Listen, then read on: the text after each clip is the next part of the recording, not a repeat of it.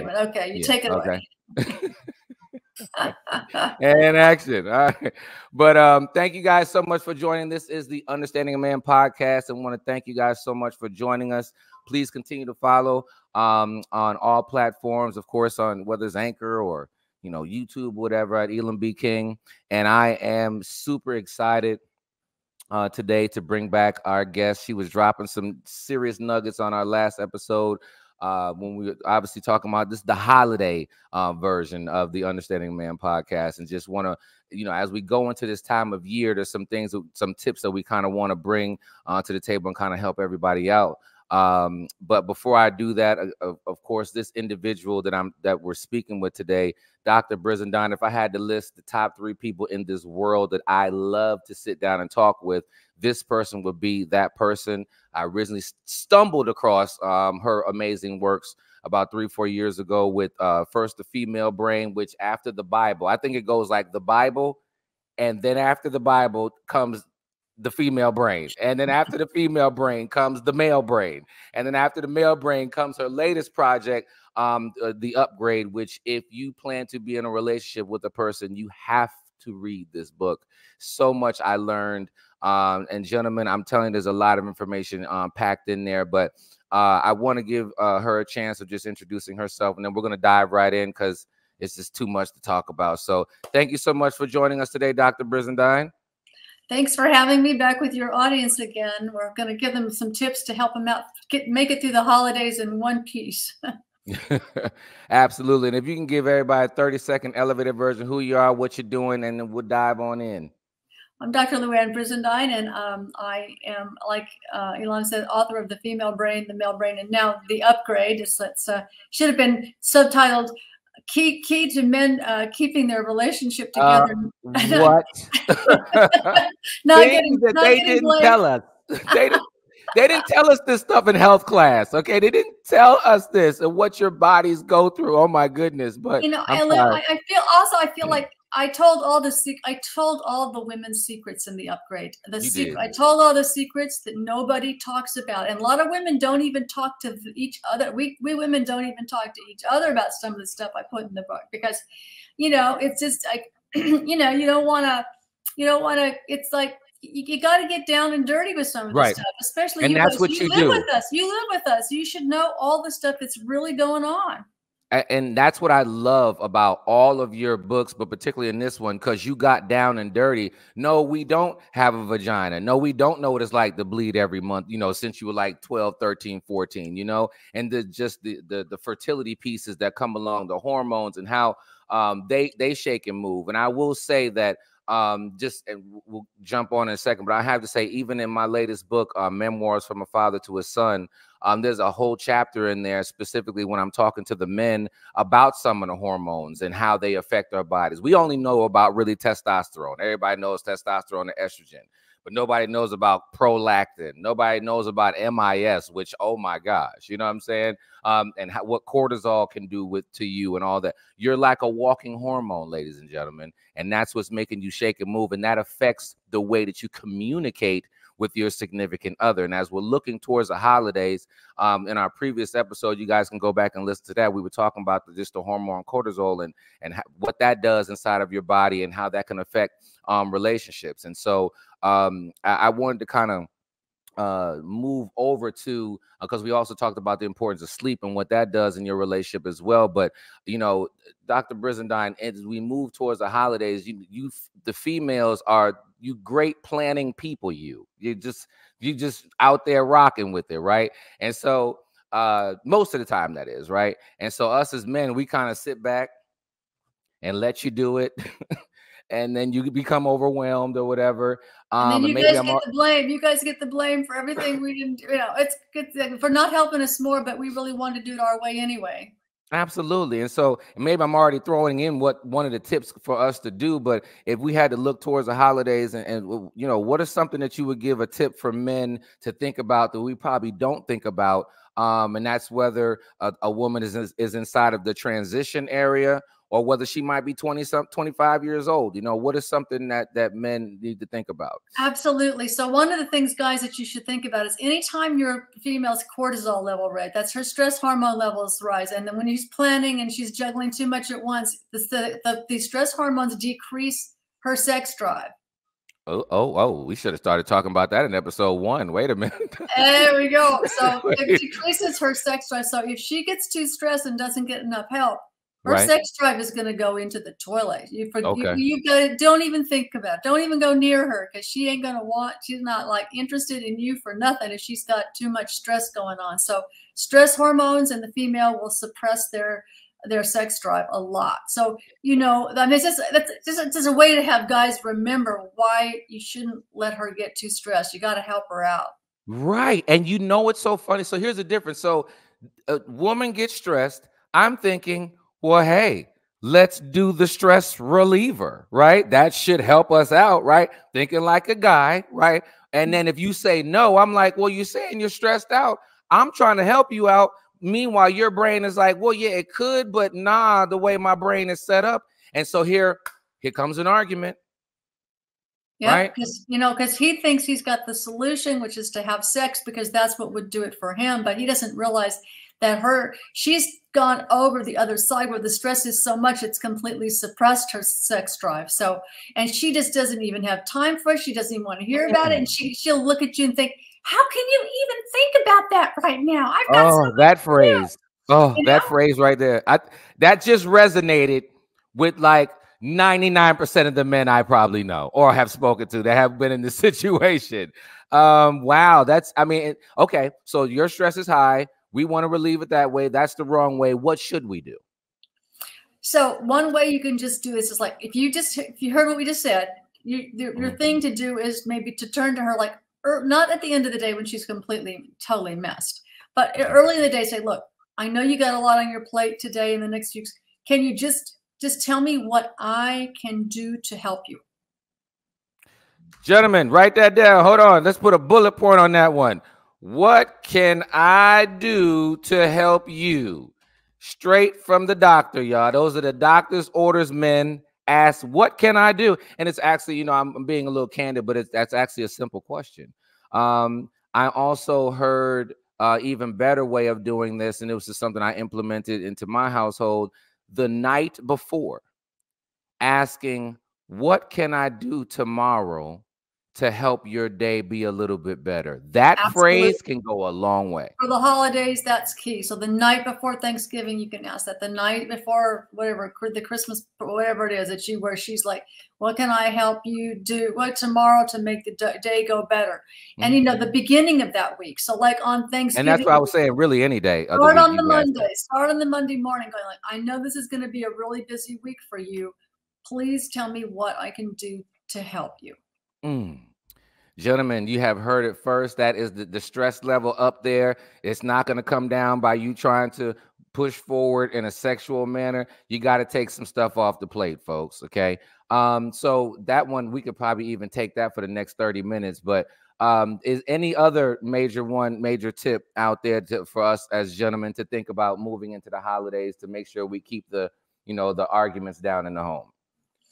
I think you know the the the con. See, when you ask her, "What can I do to help you?" Even mm-hmm. if she says, "No, I've got I've got this. I've got it nailed. Never mind. Mm-hmm. Whatever." Even if she says that, don't take it as a mm-hmm. rejection, mm-hmm. and that you might not just ask her again the next day or the next or the evening or you know before, at dinner. Say, "How are things?" Check in with her. How are things going? You know, is there anything that anything okay. that you'd like me, any kind of thing you'd like me to pick up?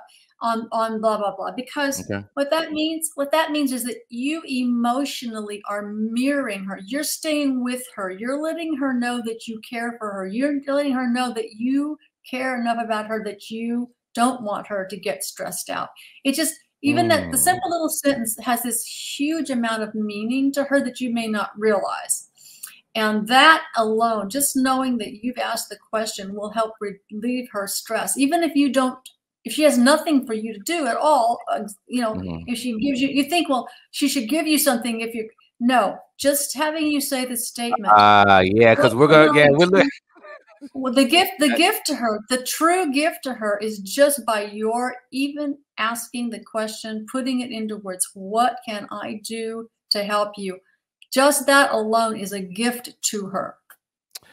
And I think that you kind of said it. I, you saw me laugh for a second because not on and doing it with not having the expectation, fellas. And I'm going to say this to you uh, from man to man. All right, fellas, do it without the expectation that you're going to get some from it. Okay, let's just put that. I mean, just do it to do the right thing. And you might get some. It, you might get some after the holiday day. You know, oh maybe oh, on Friday when everything's whatever. But you definitely, but you know, you're more likely to get some after the holiday than if she's pissed at you. Then after the holiday, she, you may be in the doghouse for another week. So right. Know, oh, so that's two weeks down, fellas. You don't want to do that, right? You um, might want to reduce the number of days you're in the doghouse, guys, and that that may be just like that. That simple. What can I do to help you? Uh, you know, and have have no expectations of sex at all from her because she's mm. she's she's whatever. Her dance card is full, baby. It's full. And believe me, you could you push for something with her then and she just thinks you don't care about her. Now let's be clear, we're not giving a, a, a ticket, ladies, to wives to just say no to your husband for the holidays. No, no, no, no. And I want the reason why I want to throw jump in here real quick and before we go is because I think I want to throw this and see if you want to agree or disagree, Dr. Brizendine. Ladies, uh, sometimes saying the word no during the holidays to everybody else or other things that people are trying to pull you in other directions that is also um, a part of self-care I, I would want to say of just taking care of yourself and not putting too much on your plate because you're just great at doing things and juggling balls and then sometimes you got too many in your hand. What are your thoughts about that? Absolutely i, I would say on this one sentence that i really like. And it's that no is a complete sentence. I come on. Come on. No is a complete sentence, ladies. So, ladies, while we work towards taking some of those things that you probably shouldn't have put on your plate, help us out by saying no to somebody. Say no this Christmas to somebody. Okay, this holiday season, say no. But honestly, I think that that's something because sometimes when ladies, you are so great at at doing things and you just keep on picking them up because you don't want to let somebody down. You don't want to let this family member down, that friend that's been there for you for 20 years, and now you've already picked up a whole bunch of stuff. And now that person comes along and asks you, and you say yes. And then you become overwhelmed. And I'm going to be honest with you, Dr. B. Um, we um, as men, we sit back and we watch you do that. And then when you're juggling too much, we kind of say, Well, why did you take on all of that anyway?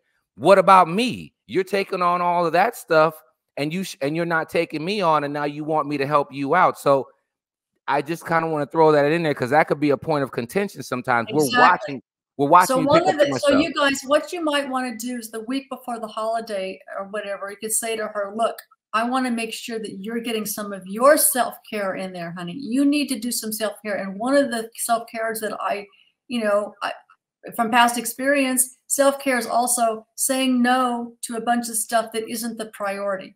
Let's okay. pick the top three things that are the priorities. One, two, and three could help talk it through with her. What are the top three priorities? Then everything below that or anything else that comes along is a no. Mm.